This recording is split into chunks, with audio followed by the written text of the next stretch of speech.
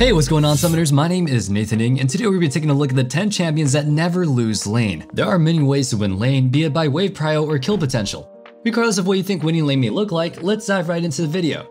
Starting us off strong, we've got Quinn. Quinn is known for her extremely powerful laning phase. Between her range damage and high burst, she's ranked one of the most hated champions for a lot of top lane players. Quinn's entire kit is based around kiting out her enemies and impacting the map with her ultimate. Because of her range advantage, she's easily able to bully out her enemy laner. With this health difference, Quinn can now push her lead in different ways. For starters, she can opt for a solo kill which will further set the enemy behind. With some jungle coordination, she can call for a dive and take multiple plates as well. Finally, once she actually gets a kill or forces the enemy to recall, Quinn can use her insane mobility to roam.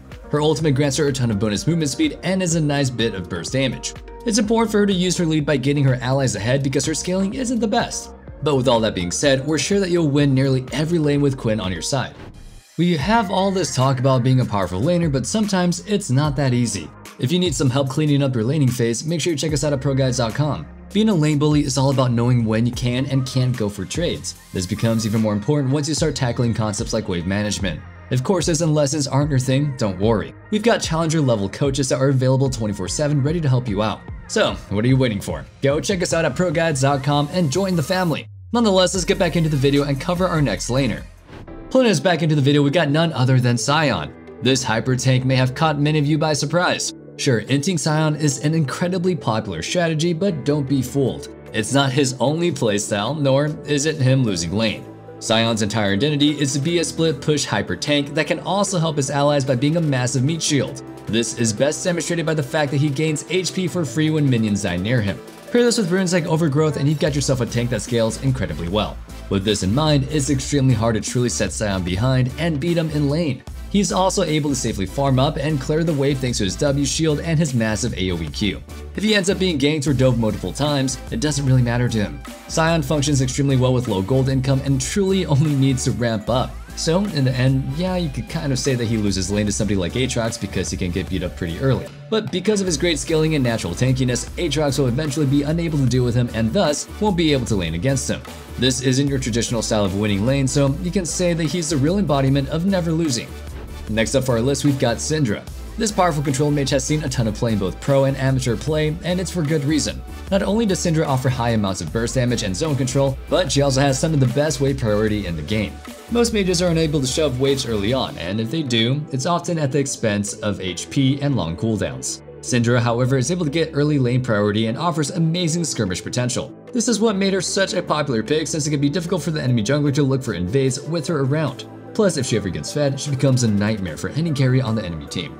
All in all, Syndra offers a ton of utility, damage, and versatility for her team. If you play her, make sure you use her wave priority and great trading patterns to your advantage. You don't pick Syndra to AFK farm the entire game. Be sure that you're shoving your wave and looking to get vision, harass the enemy, and make plays with your jungler. Moving on to our next pick, we've got Galio in the mid lane. Similar to Syndra, Galio offers a ton of wave priority thanks to his amazing wave clear. All it takes for Galio to destroy a minion wave is his EQ and basic attack. Afterwards, he's able to look for roams or can hover in the river to help out his jungler. Pair this with his amazing utility thanks to his ultimate and you've got a powerful mid laner. Not only does Galio work as a great supporting champion, but he also deals quite a bit of damage. Most Galios build multiple AP items before opting for tankier builds. This works out thanks to his innate magic resistance and his strong MR shield. With Predator, Galio can quickly sprint towards an enemy, taunt them, knock them up, and then hit them up with a Q auto and annihilate them. All in all, Galio doesn't need a ton of gold and he has great wave prio which is what kind of makes him so hard to deal with. So keep this in mind the next time you're filled mid lane and need to pick something that can never lose lane, especially if they're AP. Before we move on to our next champion, I think it's time we cover our question of the day. Today we want to ask you all, what champion do you feel like has no losing matchups? Keep in mind this can be anything and it can even be biased. Personally, I think a really good Ahri player never loses to anybody. She goes even in lane or just goes kind of crazy. Sure, Ahri players may not always win hard, but they rarely go 0 and 10. Anyway, regardless of what your answer may be, let us know in the comment section down below. With all that being said, let's get back into the video and dive right into our next few champions that never lose lane. Swinging his way onto our list, we've got Akshan. This rogue sentinel has been an extremely popular pick in the mid lane. Sure, you can attribute this to his roaming ability and resurrection shenanigans, but that's not his true power. What really makes Akshan such a good pick is a combination of two things, his trading patterns and his wave priority. With these, Akshan becomes one of, if not the strongest laner in the game. His quick trades allow him to easily gain HP advantages, which dissuades the enemy jungler from ganking. On top of this, it also strikes fair into his laner as he can often look for a solo kill if they step in too close. Next, we have his Q which seems like a simple enough ability at first. However, people forget how strong this ability really is. Akshan's Q has the potential to hit the entire wave as well as the enemy all in one cast. Pair this with a 2-hit passive and you got a champion that can get wave priority whenever he wants it. This means that you can easily look for skirmishes with your jungler or you can opt out for a roam timer instead. However you decide to push this lead, just keep in mind that most of your power is in your lane presence. So don't set yourself so far behind that you're no longer able to be a kill threat nor maintain wave control.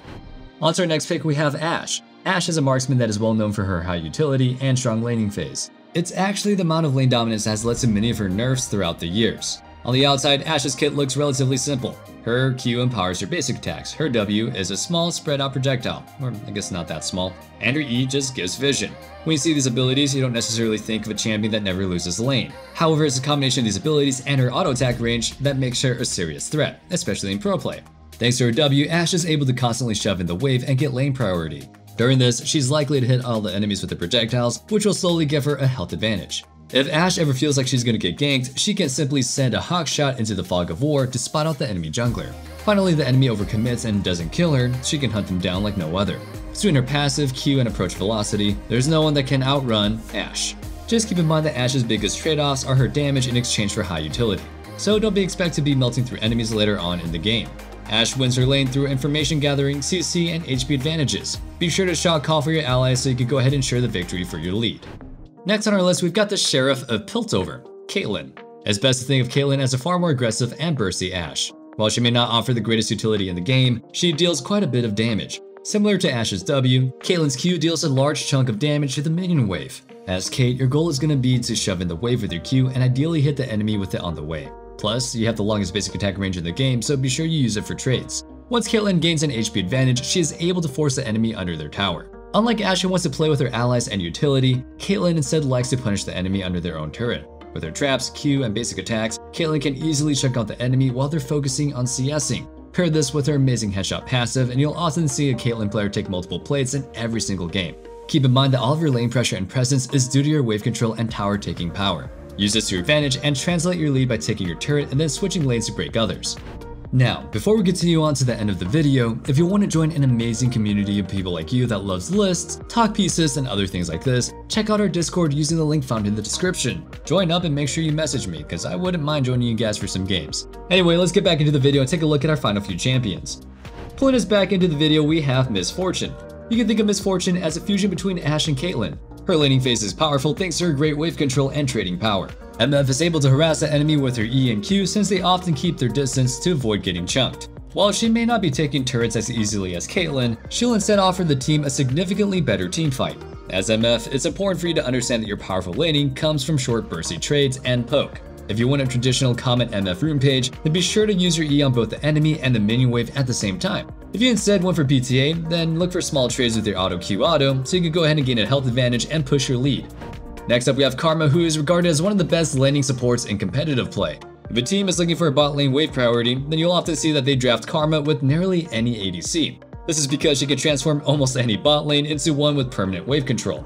Between her powerful RQ combo and her great peeling tools, Karma takes control of the lane very well. If her ADC needs to push the wave, she can easily Q it to push.